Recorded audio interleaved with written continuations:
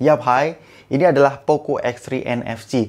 Pertama dari penamaannya aja menurut saya kepanjangan ya. Ternyata di brand sebelah yaitu Realme ini pernah menggunakan nama X3 ya yaitu Realme X3. Dan di sini mengapa Poco menambahkan embel-embel NFC di belakangnya. Tetapi untuk penamaan menurut saya tidak penting untuk sebuah smartphone. Yang penting itu adalah apa yang ditawarkan oleh smartphone-nya itu sendiri. Mari kita mulai dari desain bagian belakangnya.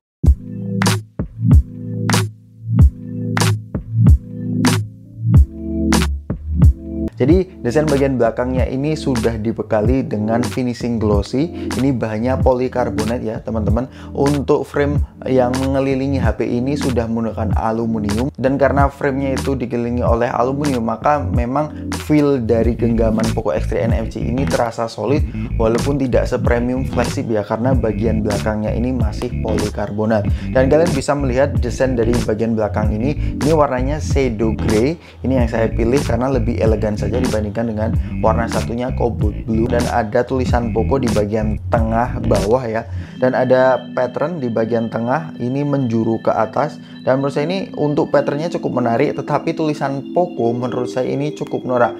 Sehingga saya lebih uh, memilih untuk polos ya untuk kesan yang elegan. Dan untuk portnya di bagian uh, samping kanan ini ada volume rocker dengan power button yang sudah mendukung fingerprint ya. Ini side mounted fingerprint. Untuk kecepatannya ya cukup cepat tetapi tapi bukan yang paling cepat. Dan mode fingerprint di sini tidak harus ditekan tetapi disentuh saja sudah terbuka. Dan di bagian samping kiri ada SIM tray yang sudah mendukung hybrid either kalian menggunakan dual SIM atau satu SIM plus expandable storage-nya sudah mendukung micro SD dan di bagian bawahnya ini tidak lupa ada USB Type-C dengan pengecasan 33 watt dan ada speaker grill plus ada 3,5 mm headphone jack. Dan tidak lupa di bagian atas ini sudah menyematkan air blaster. Ya ini cukup menarik untuk mengganti AC eh, kadang-kadang uh, fitur ini terlupakan oleh beberapa smartphone brand lain tetapi untungnya Xiaomi masih menjaga tradisi air blaster ini sampai ke sub brand Xiaomi lainnya yaitu Poco X3 NFC ini which is nice. Dan di bagian atas ini ada kemarin dari kalian tanya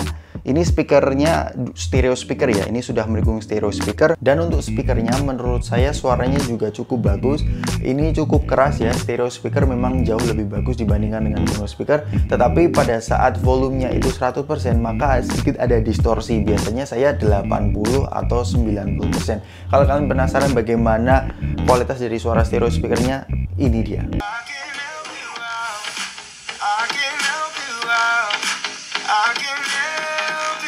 Dan kemarin ada yang tanya di uh, video unboxingnya ternyata sudah ada LED notifikasi di bagian atas ini kecil sekali tetapi ya ini cukup berguna ya untuk kalian yang pengen mengetahui notifikasi yang muncul ke HP kalian. Kalau dari desain dan material yang digunakan Poco X3 NFC ini terlihat biasa. Yang luar biasa adalah spek dari layarnya. Are you guys ready? Poco X3 NFC ini dilengkapi dengan diagonal layar 6,67 inci dengan resolusi Full HD display dengan dot display design dengan refresh rate 120 Hz ya dengan 240 touch sampling rate dengan color gamut NTSC 84% dengan kontras rasio 1500 banding 1 dengan brightnessnya paling mentok 450 nits dengan sudah tersertifikasi TUF Rainland Low Blue Light Certification dengan HDR 10 dan juga Corning Gorilla Glass 5 di bagian depannya plus dengan splash proof protection IP53 so dari spek layarnya it's really amazing. Tapi yang saya concern itu adalah dua hal di HP ini adalah yang pertama adalah bagaimana implementasi keseharian dari refresh rate 120 Hz itu. Apakah benar-benar 120 Hz atau ini adalah gimmick dan setelah saya install FPS detector, ternyata 120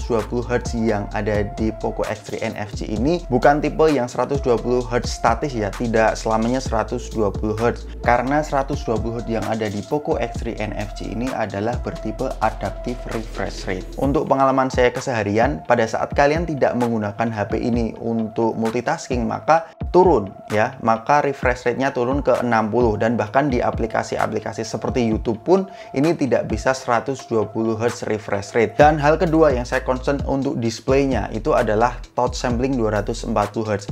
Dengan spesifikasi touch sampling 240 Hz ini, menurut saya ini cukup menarik.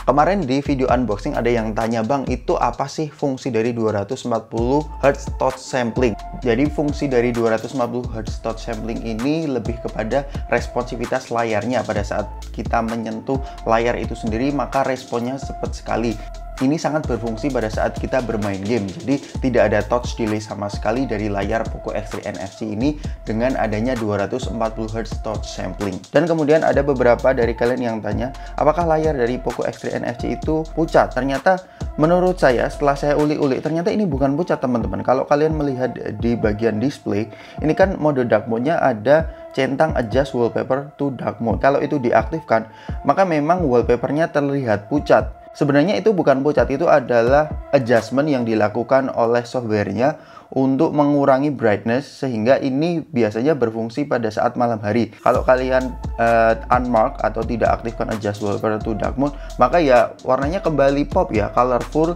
dan brightnessnya juga cukup bagus yaitu 450 nits menurut saya juga sudah cukup visible di bawah sinar matahari. Dan bagi kalian yang menikmati konten ini, subscribe bisa menjadi win-win solution buat kalian. Selain kalian mendapatkan informasi masalah pergadgetan, kalian juga membantu channel ini terus untuk berkembang ya. Terima kasih. Dan kemudian softwarenya. Jadi Poco X3 NFC ini mempunyai launcher sendiri, Poco Launcher. Dan sebenarnya ini sudah menggunakan MIUI yang sama, yaitu MIUI 12 dengan uh, basis Android 10.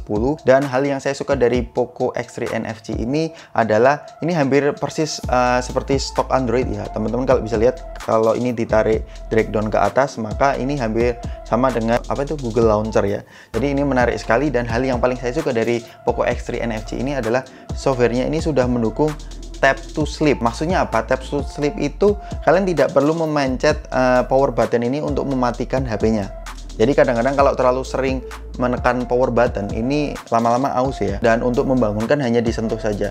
Jadi untuk intensitas uh, memencet tombolnya itu sangat uh, berkurang ya di Poco X3 NFC which is really nice. Dan kemudian untuk spesifikasinya HP ini sudah mendukung Qualcomm Snapdragon 732G pertama di dunia dengan Adreno 618 Elite Gaming dengan RAM 6GB dengan tipe LPDDR4X, internal either 64 atau 128, tipenya UFS 2.1 plus sudah mendukung pendinginan liquid cooling system 1.0 plus, Cooper Height Pipe plus graphite, ada NFC-nya dan baterainya 5160 mAh. Dan dari spesifikasi tersebut, jika kalian pemuja Antutu, untuk skor Antutunya ini bisa mencapai 280 ribuan dan untuk Geekbench itu untuk multicore-nya itu 1700-an, sedangkan single core-nya itu 500-an. Ini hampir sama dengan skor prosesor flagship beberapa tahun yang lalu yaitu Snapdragon 845 saya akan memainkan tiga game yaitu PUBG, CODM, dan Honkai Impact.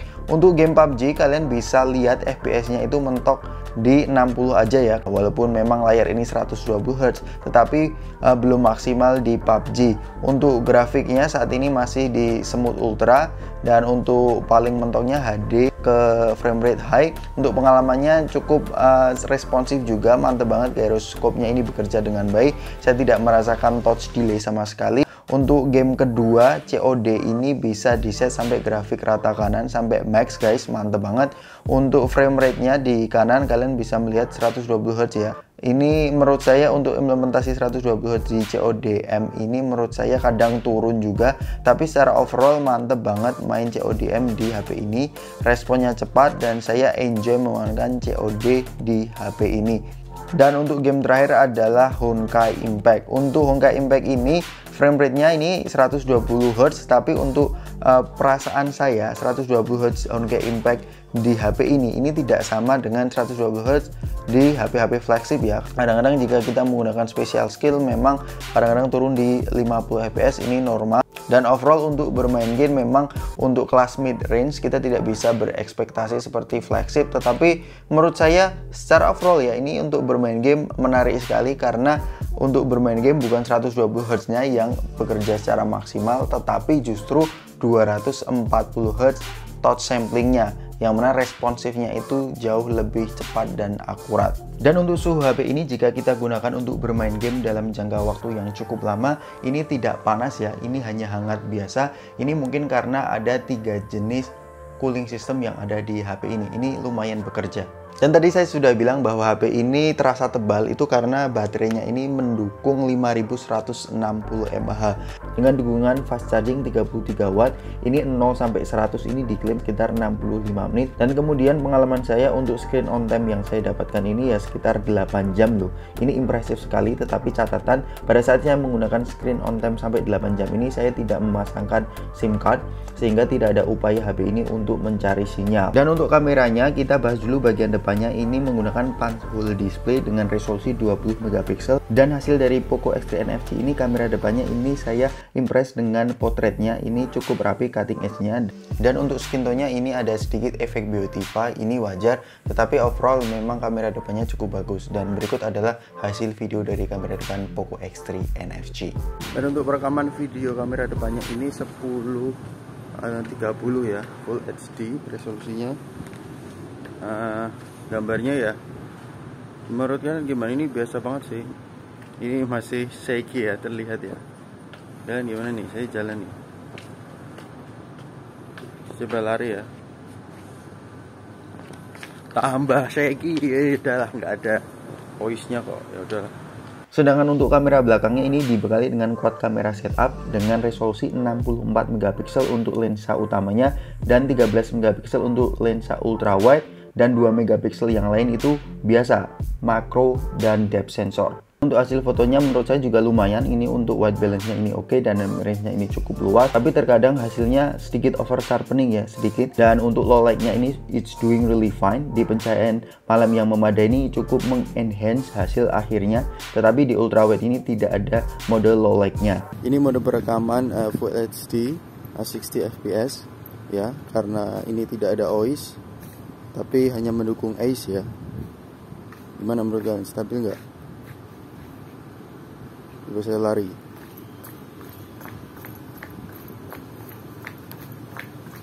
Dan ini adalah perekaman 4K 30 fps kalau di layar sih ada sedikit efek uh, ini ya. Sedikit efek apa ya? Juggling gitu nggak sih? Karena ya memang ini tidak ada OIS nya sih. Jadi di bagian pohonnya itu terlihat agak sedikit semi shaky shaky gitu nggak sih tapi ada ice nya ya kalau saya mending ois sih karena optical optical itu berarti hardwarenya memang sudah mendukung. Ya tadi jalan sekarang lari. Nah, lebih terlihat agak shaky sih. Dan ada mode yang menarik yaitu clone ini bisa digunakan untuk foto atau video jadi kesimpulannya Poco X3 NFC ini dari apa yang Poco tawarkan ini untuk kelas mid range ini menurut saya adalah paket komplit seperti sudah mendukung 120Hz refresh rate, 240Hz touch sampling rate, sudah stereo speaker pula, ada air blaster plus baterai yang besar dan kamera yang cukup bagus. Ini menurut saya merupakan paket komplit di kelasnya ya di kelas upper mid range. Jadi menurut kalian gimana Poco X3 NFC ini? Dan saya mungkin penasaran juga bagi kalian yang sudah membeli Redmi Note 9 Pro ini saya sebenarnya pengen membandingkan antara kedua device ini dan kita akan lihat saja perbandingan kedua HP ini di video mendatang. Jadi bagi kalian yang penasaran dengan perbandingan kedua HP ini, kalian bisa subscribe channel ini dan sampai ketemu di video selanjutnya. Peace out.